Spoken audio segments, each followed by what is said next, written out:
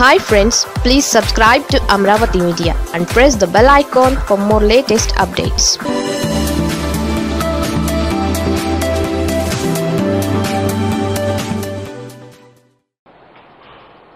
గత కొద్ది రోజులుగా తెలుగుదేశం పార్టీ అధ్యక్షుడు మాజీ ముఖ్యమంత్రి సీనియర్ నాయకుడు ప్రతిపక్ష నాయకుడు చంద్రబాబు నాయుడు గారు తీసుకుని ఒక సబ్జెక్ట్ తీసుకుని కోవిడ్ మీద చేస్తున్న విష ప్రచారం. దాని ప్రభావం ఎంతగా పడుతోంది?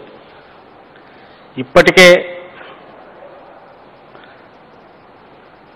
సంక్షోభంలో ఉన్న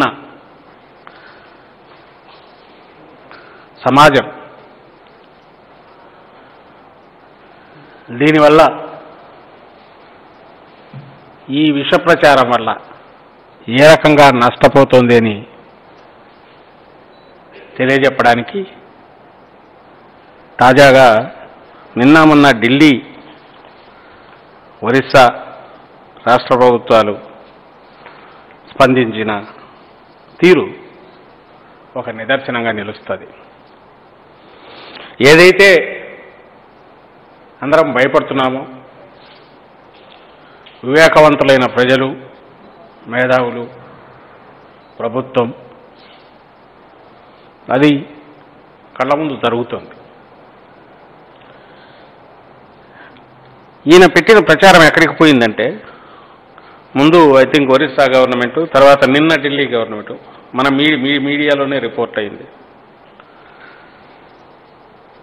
వేర్ ఈజ్ ద వైరులెంట్ వేరే variant of COVID nineteen is reported to be observed in people in Andhra Pradesh and Telangana అంటూ దానికి విరుగుడుగా ముందు ఒరిస్సా ప్రభుత్వం ఆంధ్రప్రదేశ్ తెలంగాణ నుంచి వస్తున్న ప్రయాణికులు కానీ ప్రజలను కానీ పద్నాలుగు రోజులు క్వారంటైన్లో పెట్టాలని ఒకటి రెస్ట్రిక్షన్ ఇస్తూ ఇచ్చిన ఆదేశం. ఇది ఎప్పుడు నాలుగవ తేదీ.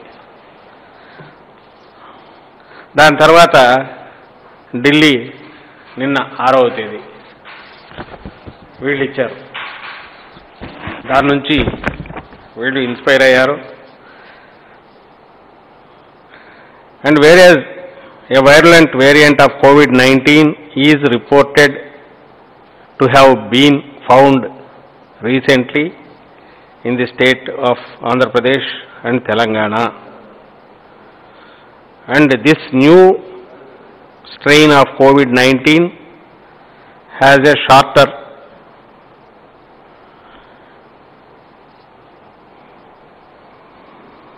దేర్ Therefore, దాని గురించి మేము చర్యలు తీసుకుంటున్నాం టు ఢిల్లీ. ఈ రెండింటికి ఈ రెండు రాష్ట్రాలు ఇంట్లో చేయాల్సి రావడానికి కారణం ఏందా అంటే ఈ పెద్ద మనిషి చంద్రబాబు నాయుడు గారు గత వారం పది రోజులుగా మొదలుపెట్టిన విష ప్రచారం ఏమని? ఈ కొత్త ఒక వేరియంట్ ఆయన మిడిమిడి జ్ఞానం కూడా కాదు అసలు అది కూడా లేదు ఆయన.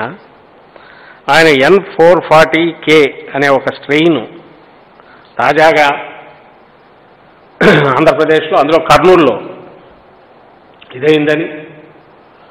దానివల్ల అతి తక్కువ సమయంలోనే తక్కువ ఇంక్యుబేషన్ వల్ల తక్కువ సమయంలోనే దాని ప్రభావం వల్ల ఆరోగ్యం క్షీణించి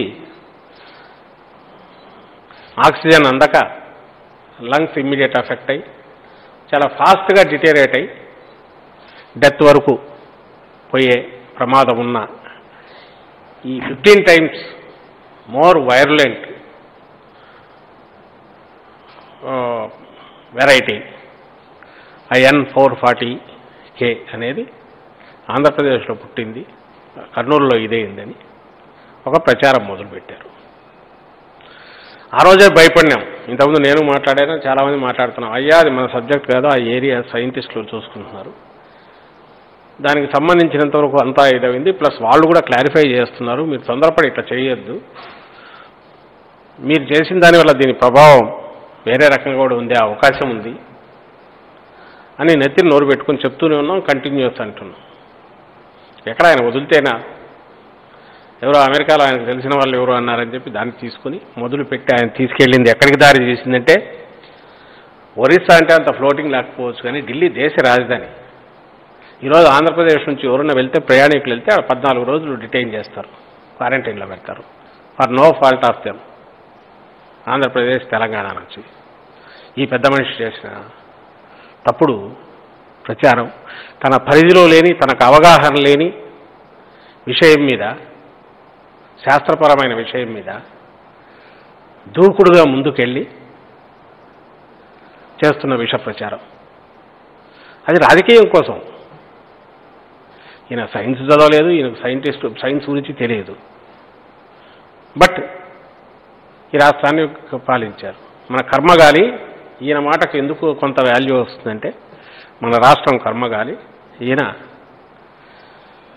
పద్నాలుగేళ్ళ పాటు ఈ రాష్ట్రానికి ముఖ్యమంత్రి బాగా సీనియర్ నాయకుడుగా ముదిరిపోయిన సీనియర్ నాయకుడుగా దేశం అంతా ప్రచారం ఉంది. ఆయన అన్నారంటే ఎంతో కొంత ఉండకపోతుందా నిజమని అనుకునే అవకాశం ఉంది. వేరే రీజన్ కనిపించట్లా నాకైతే.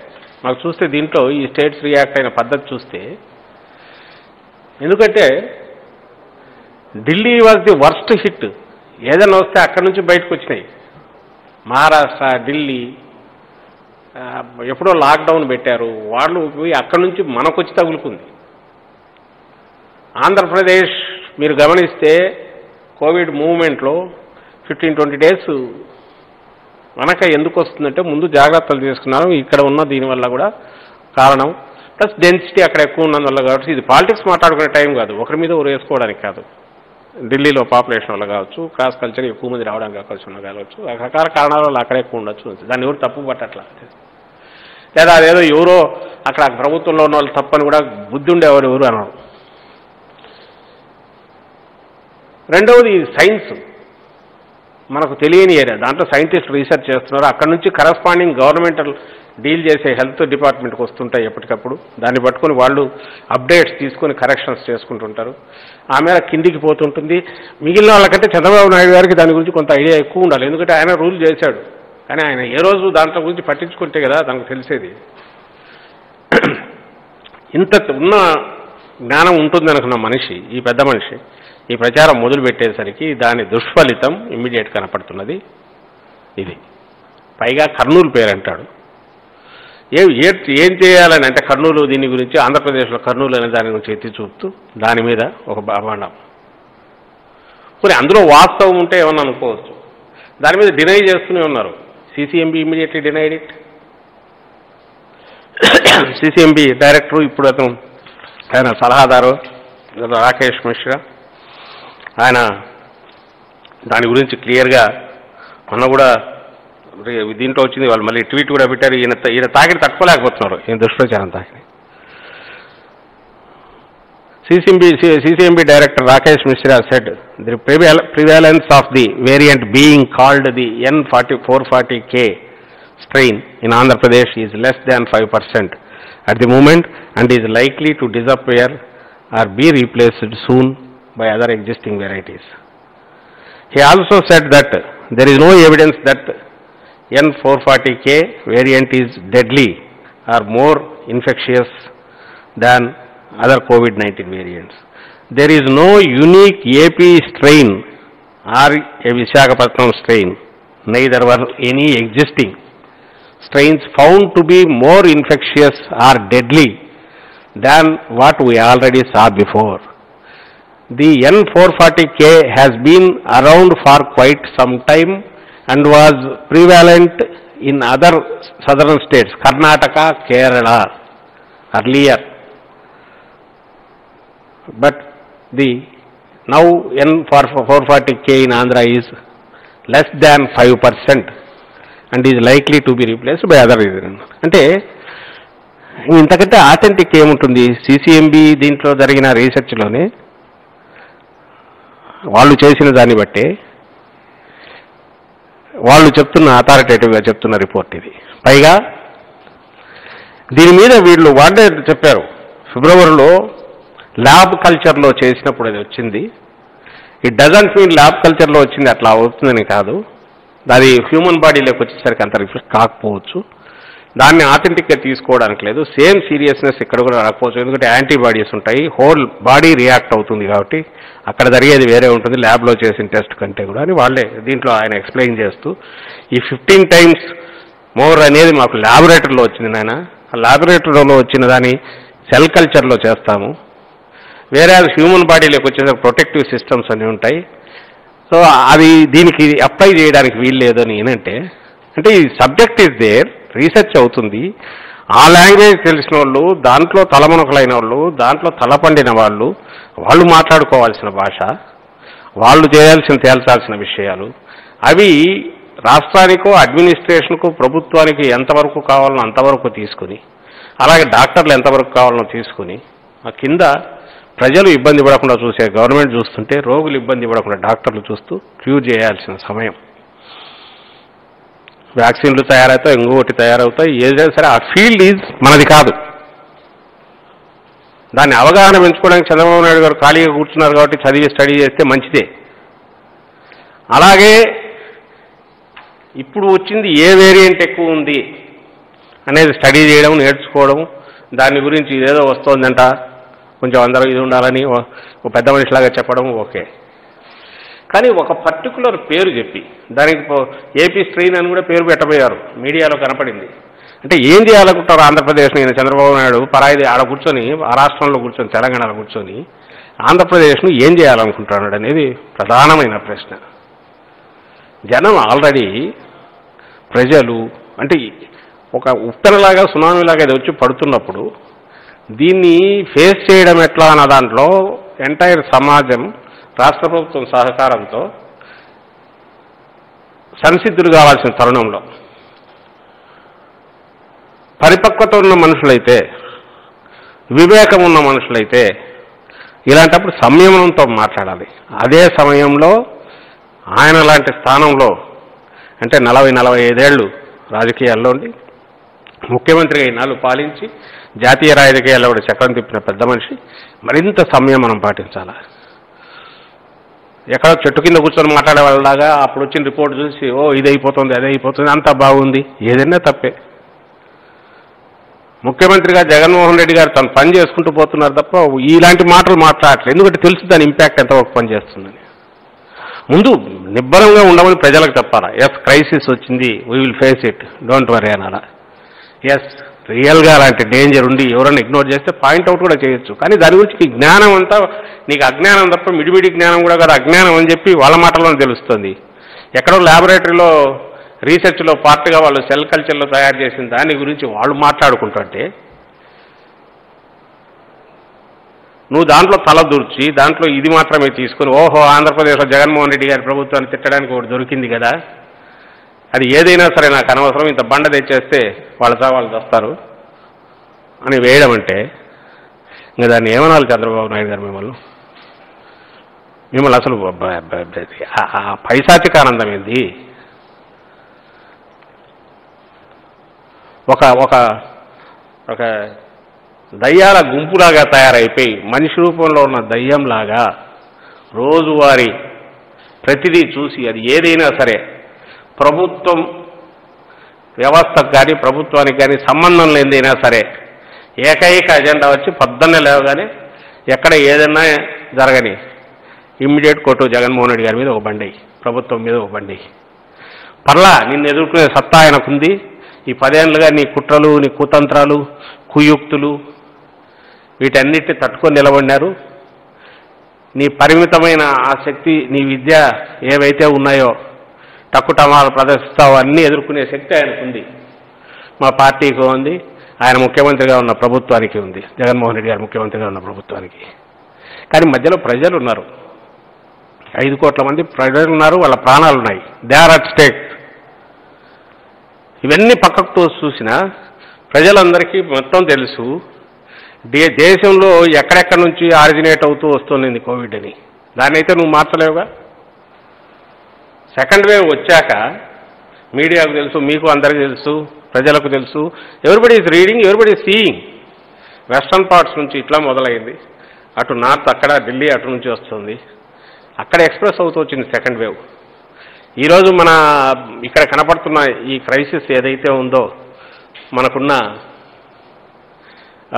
వీటికి హాస్పిటల్ వ్యవస్థకు దానికి మించి వస్తున్న కేసులకు దాన్ని ఎదుర్కోవడానికి అందరం పడుతున్న చేస్తున్న ప్రయత్నాలకు. ఇవి నెల ముందే అక్కడ మొదలైనవి అది ప్రాక్టికల్ అయితే దాన్ని అయితే ఎవరు కాదనలేరుగా? నీ ఎన్ ఎన్ నైన్టీనా ఎన్ ఫోర్ ఫార్టీకేనా ఇంకోటి ఏదో సిక్స్ సెవెన్ సెవెన్ బీనా పేర్లు పక్కకు తీస్తే వాళ్ళు పెట్టుకునే పేర్లు. చంద్రబాబు నాయుడు గారికి కానీ జగన్మోహన్ రెడ్డి గారికి కానీ లేదంటే రాజకీయ పార్టీలకు కానీ ప్రజలకు కానీ వాస్తవం ఏది కళ్ళ ముందు కనపడుతున్నది దేశంలో భారతదేశంలో సెకండ్ వేవ్ అంటూ మొదలైతే ఆంధ్రప్రదేశ్లో కాదు. సెకండ్ వేవ్ మొదలైంది ఎక్కడ వెస్ట్రన్ పార్ట్స్ నార్త్ అక్కడ నుంచి వచ్చింది. ఇదైతే వాస్తవం కదా? ఎవరు కాదనలేరు కదా? ఏదైతే ఈ రోజు లక్షణాలు వ్యాధి లక్షణాలు కనపడుతున్నాయి ప్రాణాంతకం అవుతున్నాయి అన్నీ కూడా అక్కడి నుంచి వచ్చినవే తప్ప ఇక్కడ కాదని తెలిసి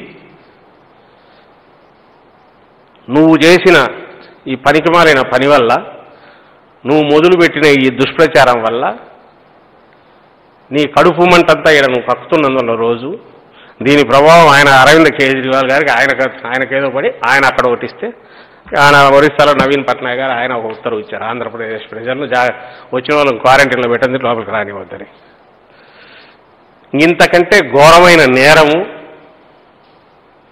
మన రాష్ట్రం పట్ల. ఏ రాష్ట్రం అయితే నిన్ను అవసాన దశలో కూడా ఆదరించి పాపం నీ అదృష్టం కొద్ది మళ్ళీ కూడా కట్టబెట్టి వరకు రెండు వేల పంతొమ్మిది వరకు పీఠ మీద కూర్చోబెట్టిందో. ఏ రాష్ట్రం అయితే నీ నిన్నాళ్ళు మోసిందో నలభై ఏళ్ళు. మీ మామను ఇది చేసి చేసుకునే ఆ రోజు పార్టీని. అది మోసింది. మొత్తం నీ జీ బతుకంతా కూడా కంప్లీట్ ఎవరో నిన్ను మోస్తున్నారు.